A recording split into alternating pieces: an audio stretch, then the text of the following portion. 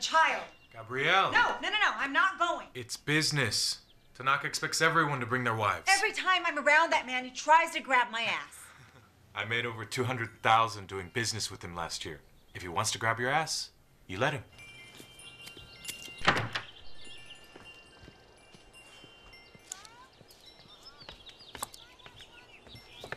John! Ow. Mrs. Solis. You scared me. Why is that bush still there? You were supposed to dig it up last week. I didn't have time last I don't week. want to hear your excuses. Just take care of it. I really hate the way you talk to me.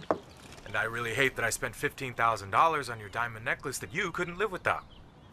But I'm learning to deal with it. So, can I tell Tanaka we'll be there tomorrow night? John, we have bandages top shelf in the kitchen. Thanks, Mrs. Solis.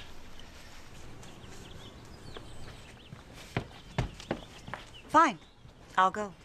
But I'm keeping my back pressed against the wall the entire time. See? Now this is what a marriage is all about. Compromise.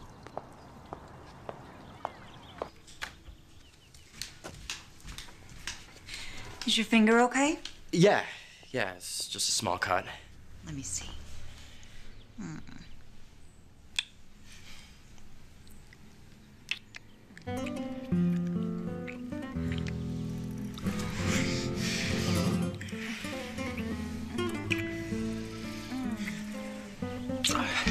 You know, uh, Mrs. Solis, um, I really like it when we hook up.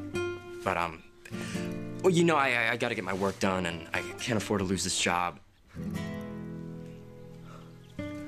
This table is hand carved. Carlos had it imported from Italy. It cost him $23,000. You wanna do it on the table this time? Absolutely.